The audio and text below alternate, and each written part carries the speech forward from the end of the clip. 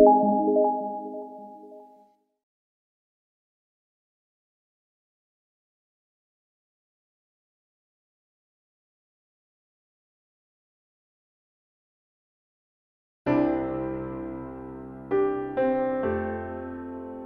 Christ alone, my hope is found.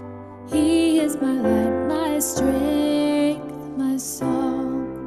This cornerstone, this solid ground, firm through the fiercest drought and storm. What heights of love, what depths of peace, when fears are stilled, when striving cease, my comforter,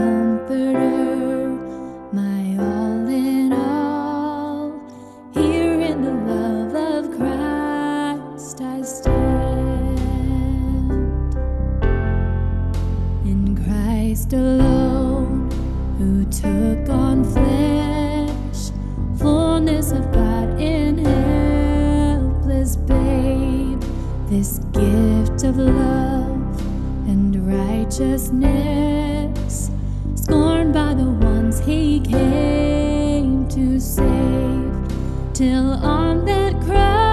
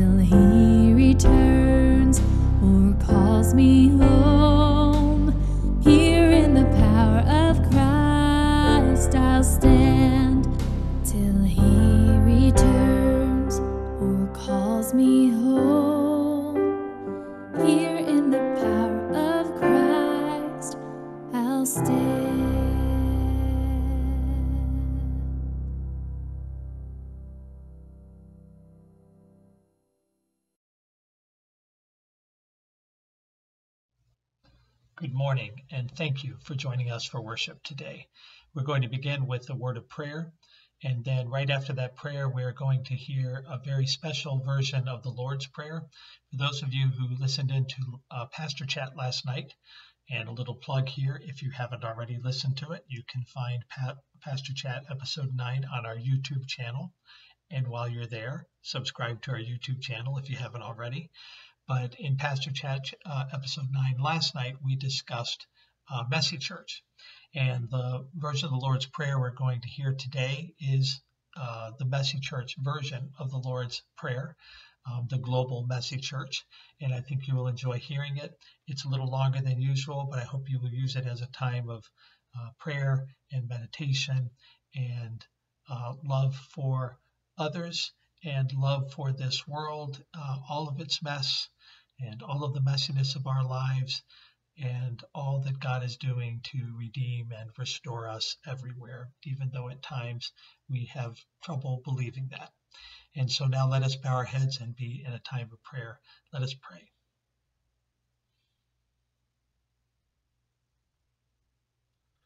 Gracious God, we gather from many different locations, grateful for this opportunity to be together in worship and prayer.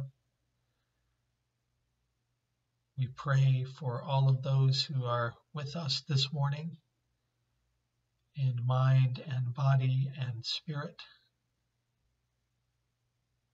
And we begin by asking you to heal, O Lord, our prayers for the community of our world.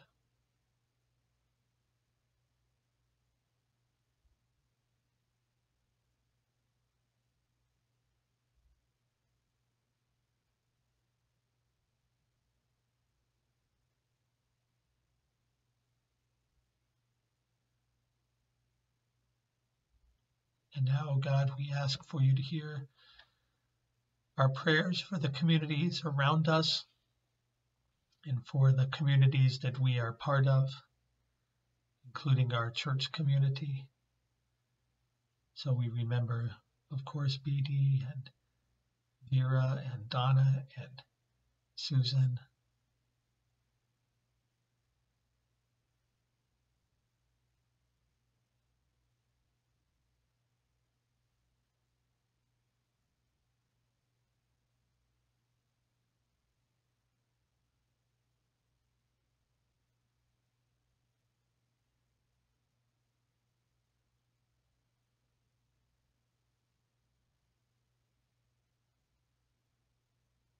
now we pray, O oh God, for our individual lives and concerns that we have this morning.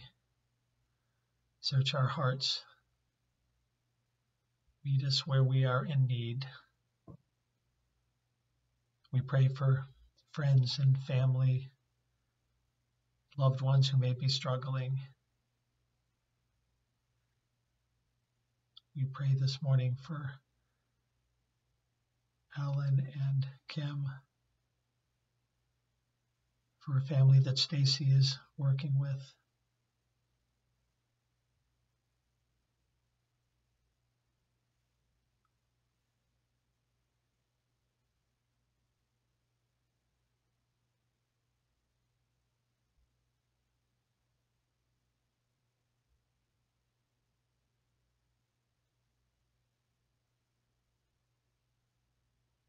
Now, God, we conclude our time of prayer by sharing together in the Lord's Prayer with brothers and sisters in the messy church around the world.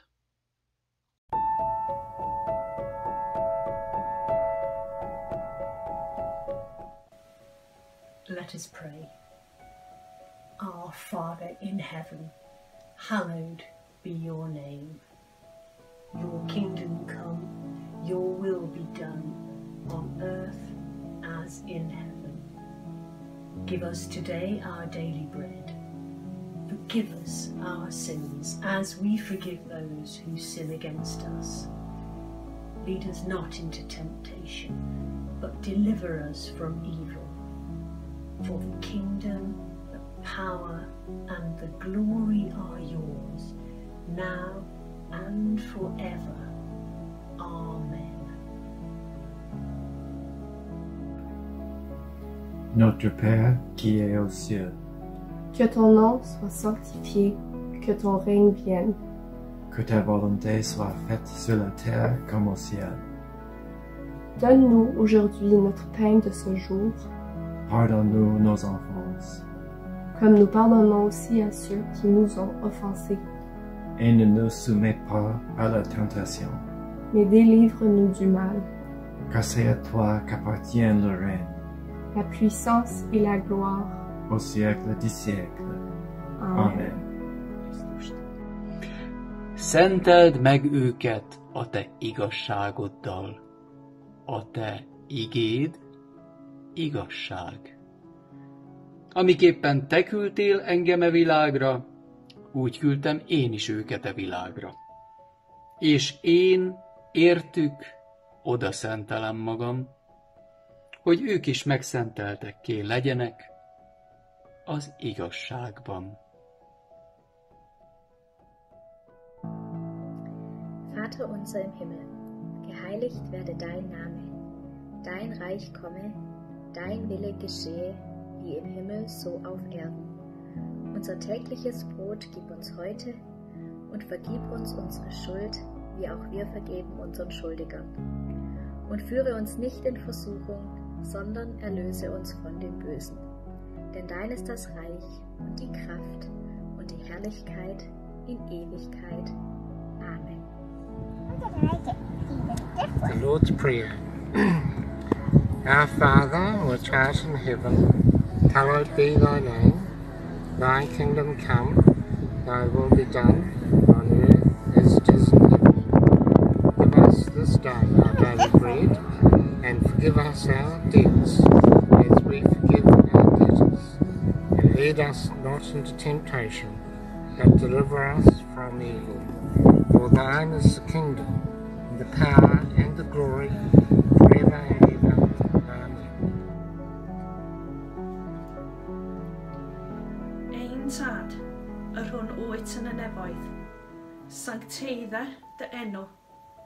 deled y deinas, gwneled yr wyllus, megis yn y nef, felly ar y ddeiar hefyd. Dyro ni heddiw ein bare bynyddion, a maddau ni ein dyledion, fel yma ddeiwn unau un dyledwyr, ac na carwain ni i profedigaeth, eithi gwared i'r rhag drwg, caniseiddo ti o'r deinas, a'r nerth, a'r gogoniant, yn oes oesoedd. Amen. Nuestro Padre quien estás en los cielos. Hallowed be thy name. Your kingdom come, your will be done on earth as it is in heaven.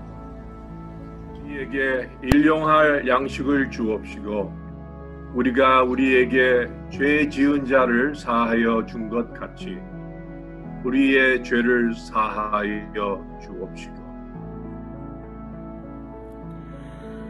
مگذارتن به وسوسه بدهیم بلکه ما را از بدی رهایی بده Tuyo es el reino, el poder y la gloria, por los signos de los signos. Amén.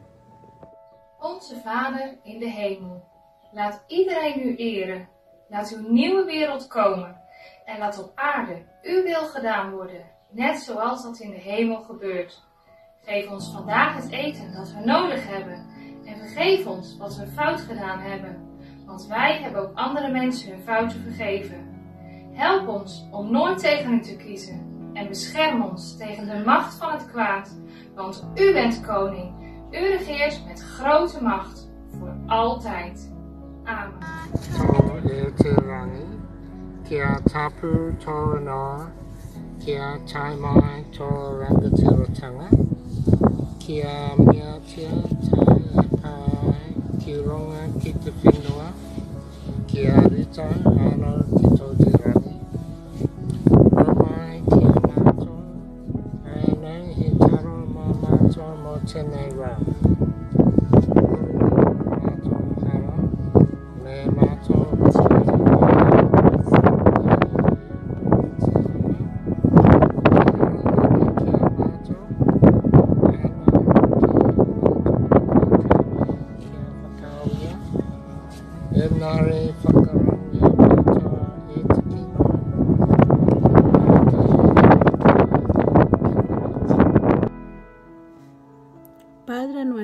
que estás en el cielo, santificado sea tu nombre. Hágase, Señor, tu voluntad en la tierra como en el cielo. El pan nuestro de cada día, dánoslo hoy, y perdona nuestras ofensas, así como nosotros también perdonamos a los que nos ofenden. Y no nos dejes caer en tentación, mas líbranos del mal, porque tuyo es el reino, el poder y la gloria, por todos los siglos. Amén. Vår Fader, du som är i himlen. Låt ditt namn bli helgat. Låt ditt rike komma. Ske din vilja på jorden så som i himlen. Ge oss idag det bröd vi behöver. Och förlåt oss våra skulder, liksom vi har förlåtit dem som står i skuld till oss. Och utsätt oss inte för prövning, utan rädda oss från det onda. Ditt är riket, din är makten och äran i evighet. Amen.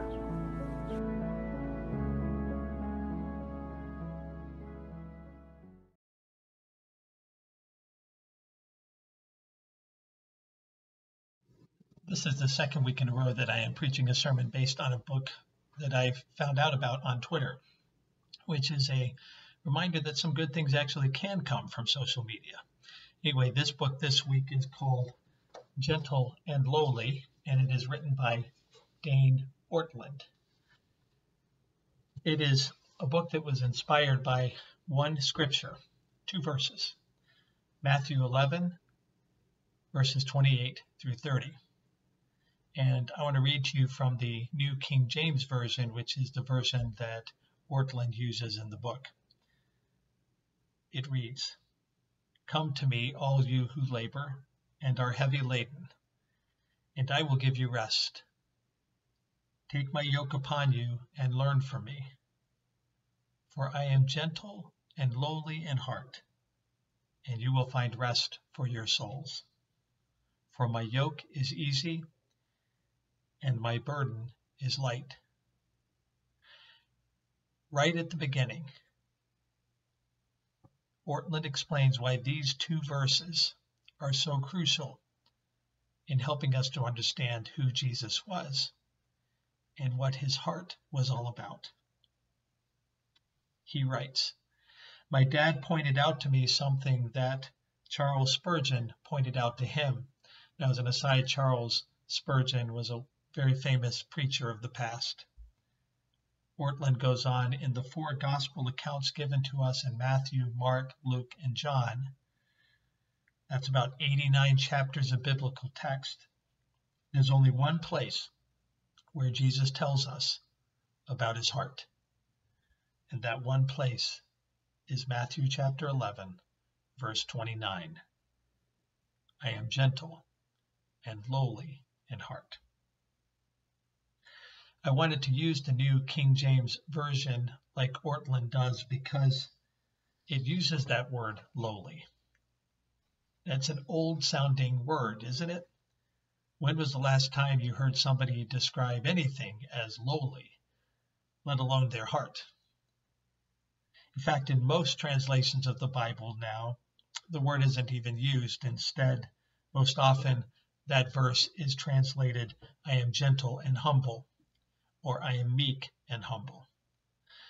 But I kind of like that translation of gentle and lowly in heart.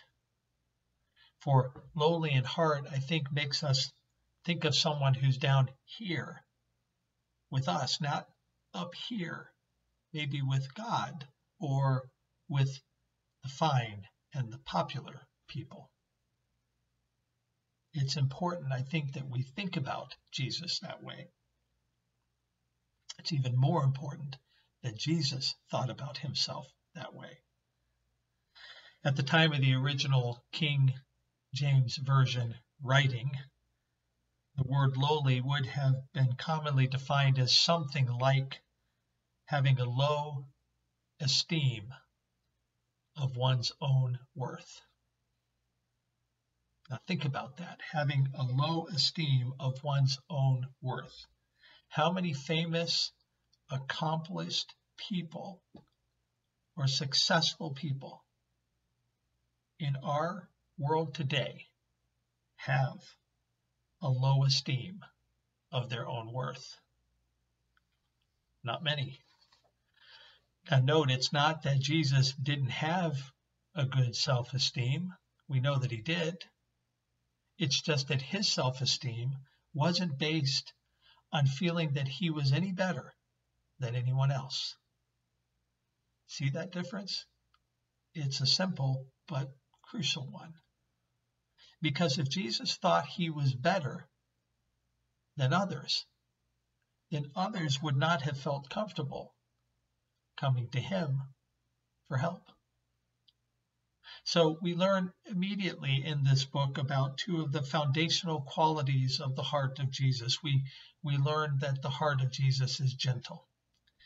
And some of us in our church right now are reading a book. We're, we're finishing our last session this week, a book called A Gentle Answer by Scott Sauls. And in that book, Scott Sauls writes Little children, prostitutes, tax collectors, sinners, people who lacked education, the poor, the sick, the unemployed, lepers, crooks, addicts, people with disabilities and special needs, the elderly, misfits, all felt worse and more burdened after encountering the religious authorities of their day. But they felt better and less burdened after encountering Jesus. For Jesus not only said the word, Come to me, all you who are weary and burdened, and I will give you rest, but he also lived and embodied those words with his gentle spirit. He was also lowly in heart. That means, in some sense, that he was accessible. His heart was reachable by people. The bar wasn't set way up here or with lots of complications. It was set at a place where all of us could cross that bar and access the heart of Jesus. Nothing stood in the way of people connecting with him if they wanted to. Other words that we could use to describe this quality are things like welcoming, non judgmental, open, approachable. In other words, just show up as you are, wherever you are, and that's all it takes to access the heart of Jesus show up and you can access it. Now, those adjectives, those qualities of the heart of Jesus should describe the qualities of our hearts and our churches. But do they? That's an important question for us to consider this morning. Now, it's interesting, even, or maybe at least for this mainline Protestant pastor, thinking about examining the heart of Jesus in some formal way kind of seems like something that would have been done in the past. And indeed, it, it was a lot. This was talked about a lot. And we learn about that in Ortlund's book, talked about, for example, by Jonathan Edwards quite frequently. But not so much these days. I mean, I can't really remember sermons that I've heard or read specifically about the heart of Jesus.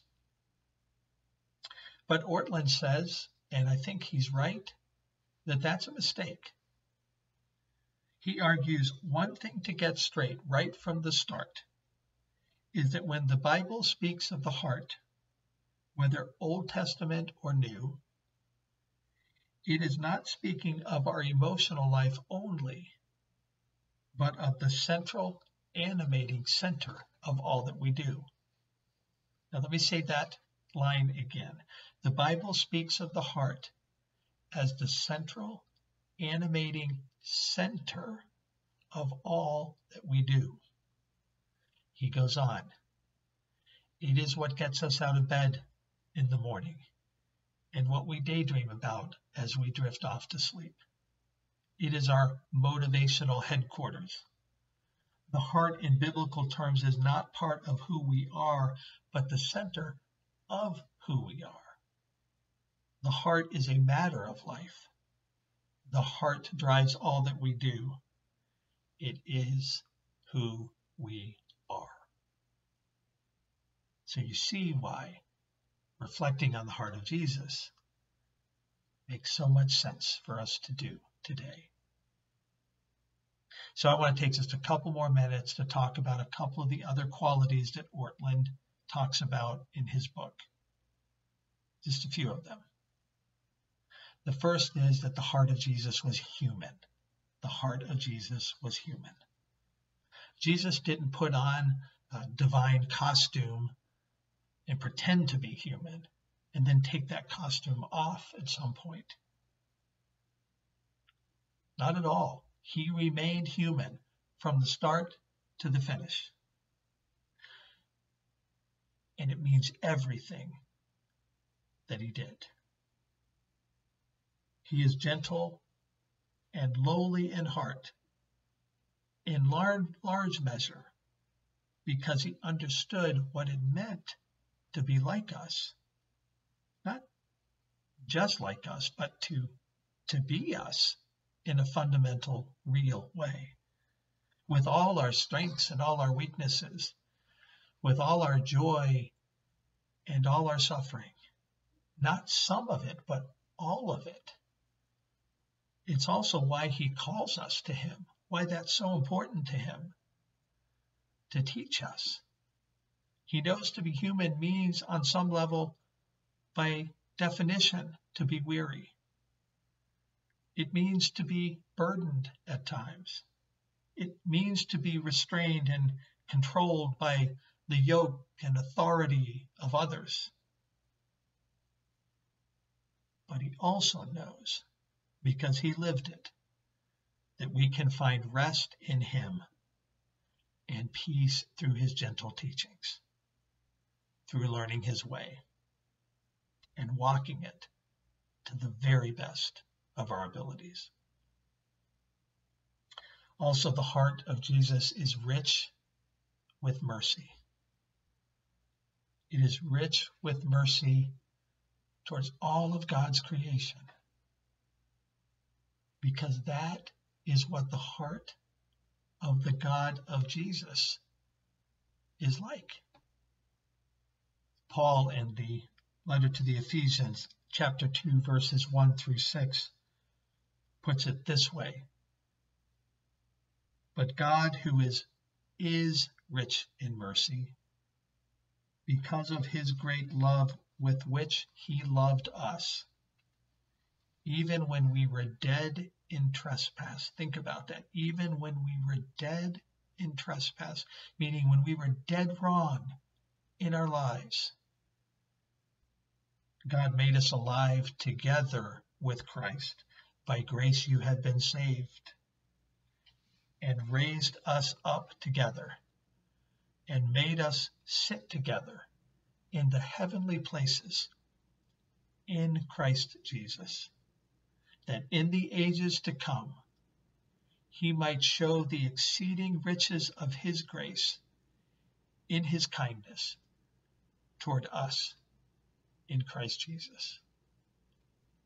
Ortlund then writes these magnificent words in his book about God and mercy.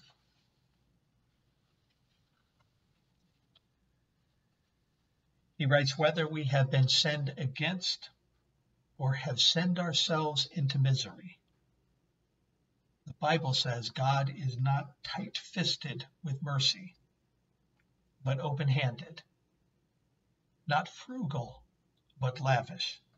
Not poor, but rich. That God is rich in mercy means that your regions of deepest shame and regret are not hotels through which divine mercy passes, but homes in which divine mercy abides. It means the things about you that make you cringe the most make God hug the most. It means his mercy is not calculating and cautious like ours is. It is unrestrained, flood like, sweeping, magnanimous. It means our haunting shame is not a problem for God, but it's the very thing God loves most to work with. It means our sins do not cause God's love to take a hit. Our sins cause God's love to surge forward towards us all the more. It means on that day, when we stand before God, quietly, unhurriedly, we will weep with relief, shocked at how impoverished a view of God's mercy rich heart we had. And it is that mercy that we see in the heart of Jesus throughout the stories in the New Testament. The final quality I want to mention is a big one. One that is hard to comprehend at times, but it is at the core of our faith. And that is that the heart of Jesus is eternal. Spiritually, it is still beating. He's still inviting us to Him. He's still advocating for us. He's still interceding for us. He's still teaching us, still redeeming us, still forgiving us, still fighting for justice for us, still loving us beyond our comprehension. Jesus is still with us now and forever.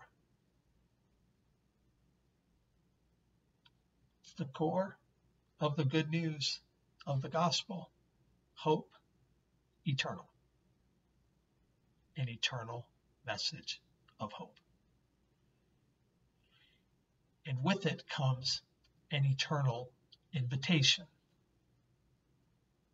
It's those two verses again. Come to me, all you who labor and are heavy laden, and I will give you rest. Take my yoke upon you and learn from me, for I am gentle and lowly in heart, and you will find rest for your souls. For my yoke is easy and my burden is light. And with that invitation comes an eternal question How will we respond? How will you respond? How will I respond to Christ's invitation to come to Him? To come to Him. I like what Ortlund says in his book. He says, Go to Him, go to Jesus. Let Jesus love you. He says the Christian life boils down to two steps. Step one, go to Jesus. Step two, see number one. He says, whatever is crumbling around you in your life, wherever you feel stuck, this remains undeflectable. His heart for you, the real you, is gentle and lowly. Remember, gentle, kind, caring, careful with you, lowly, acceptable welcoming, accessible to us.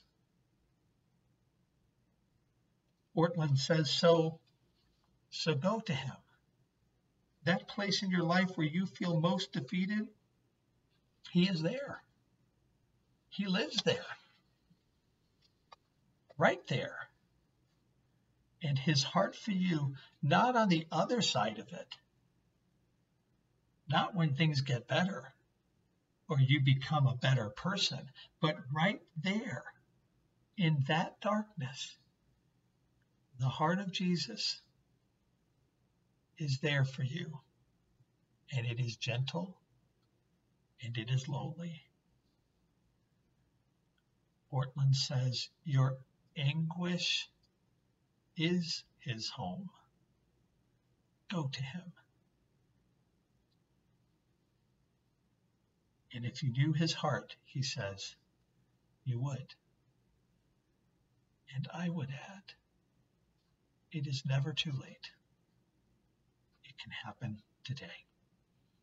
In Jesus' name, amen.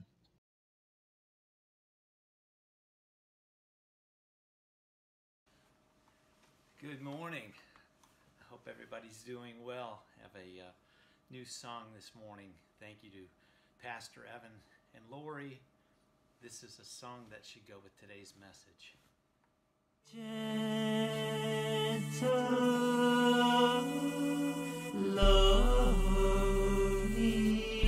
don't say that Jesus was, I say that Jesus is. Jesus is. But people disrespect me, what do you expect me to do? Expect me to do?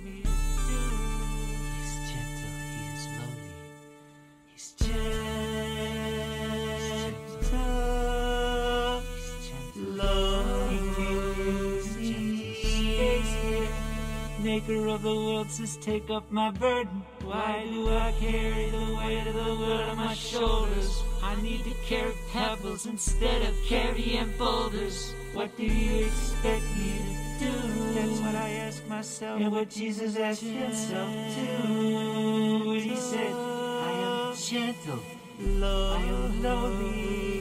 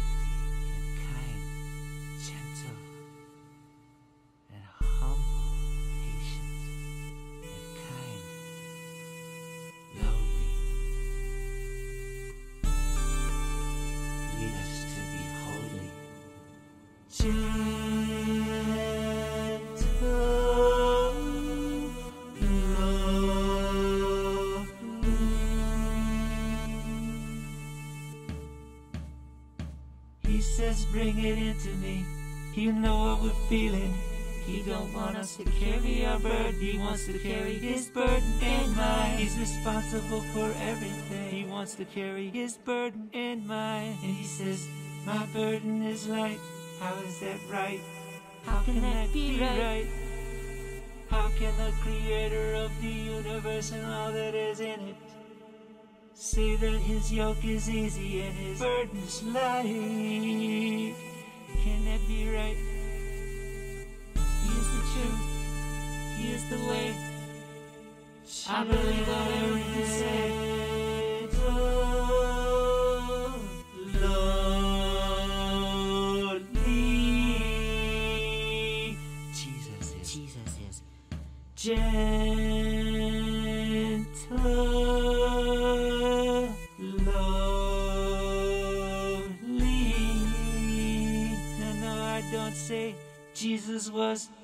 I say Jesus is. Jesus is. Jesus is. Here, he stays here. He can feel what I feel. And when I don't see him, and right now for sure I don't feel him. Why do I carry the weight of the world on my shoulders? I need to carry pebbles instead of carrying boulders. He says, bring it into me.